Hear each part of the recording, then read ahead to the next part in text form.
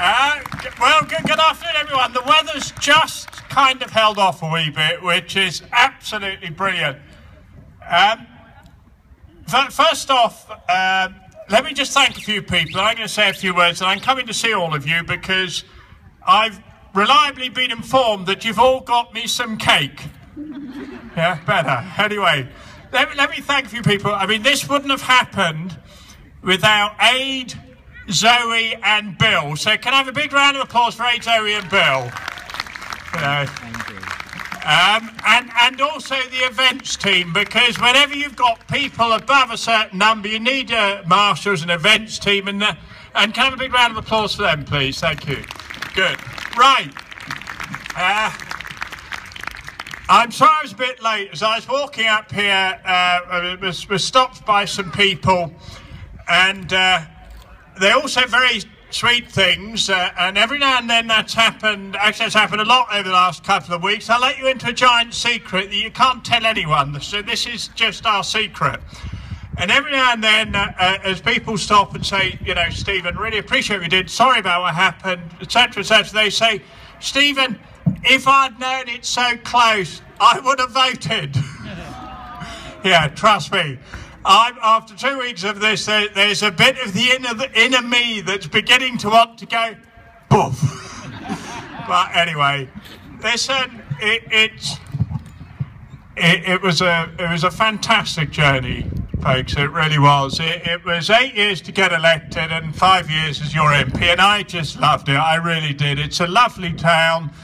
It's a, a fantastic job, and, and every single minute of it was a, a real pleasure. Um, very soon after the election, a lot of people were saying, Stephen, you must run again, you must run again. And I, I kind of just wanted to put a hold on that for a bit so I could take a breather.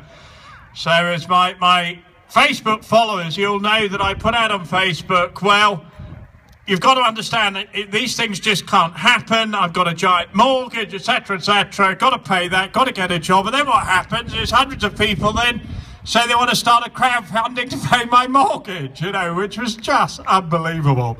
Uh, Shireen's much more practical than me, by the way. Shireen, my beloved, where's she gone? Shireen, darling, Shireen's she, she's the one who really deserves a round of applause.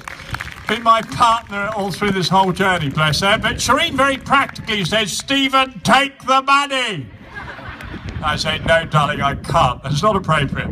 Uh, so that's why I thought another thing we all know, whatever our politics is, whatever our views are, we all know are crucial for this town is, is the local hospital. We all know that that's been a real battle for quite a few years now. So that's why I kind of wanted to set up the Just Giving site for the Save the DGH campaign team because that battle's going to go on.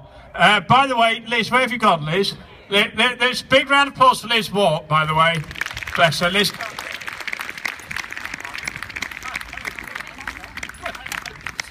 Uh, Liz, as, as many of you all know, chairs the campaign fund. I told her about it. She was on holiday with her husband Dave in Cornwall, and I said, "Listen, the town's been really kind, but rather than pay my mortgage, which isn't, isn't appropriate, I want to raise money for the campaign team because the battle's going to go on, and it's going to go on for a few years, to be honest." And the good news, the Just Giving site's already raised 1,200 quid. So thank you so much for the many, many donors uh, who are here today. But what I'm also going to do is the events team are just going to be walking around for the next hour or so with the Save the DGH buckets uh, because it will be wonderful over the next today and the last 20 days or so of the Just Giving site. If we can reach 1500, that's brilliant. I can then give it all to Liz and the campaign team. It will get banked, and that means that your contributions, my contributions, and the key part of fighting for our hospital keeps going and keeps being funded for a few years. So that's what those guys coming around with buckets. It's not for my mortgage, it's for the campaign team. Finally, right.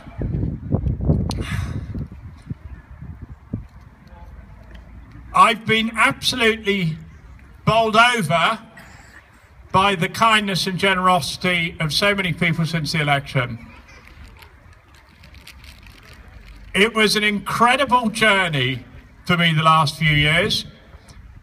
And to represent a town like this with so many people who I knew and then many people I didn't know was just such a privilege. I just loved it.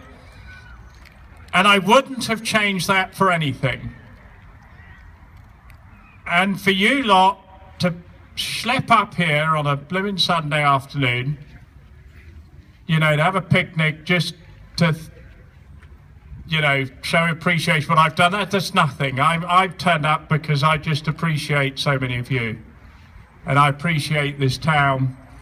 And I appreciate the opportunity you gave me to be your MP for five years. So, folks, the honour is mine to have served you. Thank you very much. I'm coming out for cake. Thank you.